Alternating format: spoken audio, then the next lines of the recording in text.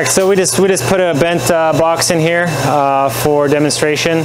Uh, usually we will, you would like to secure it within a, fix, a fixture or a jig of some sort, but uh, for demonstration purposes, we're just going to line it up as best as we can, and uh, we programmed a, a, few geometric shapes to put in on the top of this uh, box okay, for so reference. a couple holes put on the top. Yeah, we'll have a rectangle and a circle and a circle close to the radius of the of the bend of the of the part. So. Okay.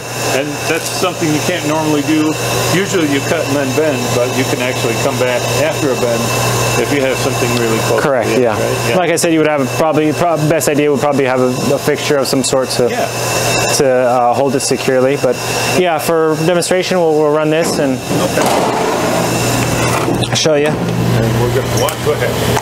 So with this, we're gonna run our, um, we're gonna manually jog Okay. the head over. Control for the head.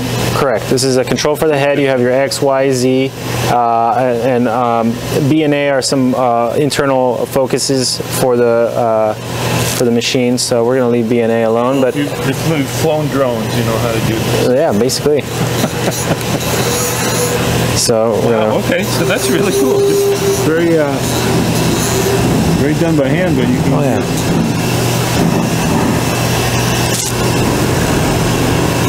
And then there's a little indi laser indicator there.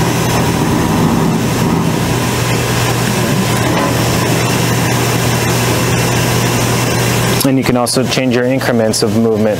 Oh, okay. From So like to- coarse to. Uh, right, to fine, correct. Can I see? Let me see if I can see the little edge here.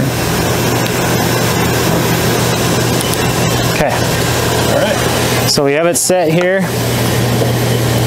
We have we, we change our thickness uh, the thickness to the height of the part here here in the within the cutting Oh, right, condition. okay. So you would make if you're running something a box of some sort that you're cutting you're processing after bending, you have to make a separate cutting condition like uh, like you would copy copy that condition uh, standard condition and then input all the all the heights and z's for the for the for the new part. But somehow it also knows the gauge of the metal it's made out of. Uh, that that was that was called out. Uh, that was called out within our. Uh, so we yeah we yeah yeah. Yeah. So that was called out, but then you change your change your thickness, within within Got the it. cutting condition. Okay.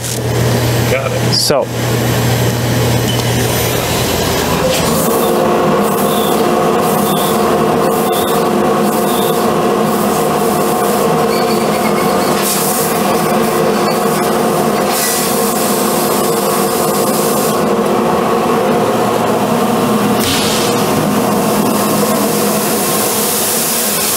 there it is.